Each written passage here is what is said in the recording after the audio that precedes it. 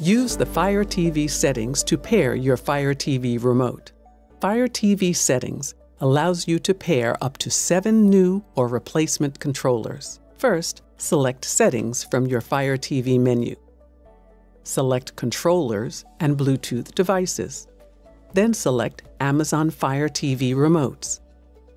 Select Add New Remote.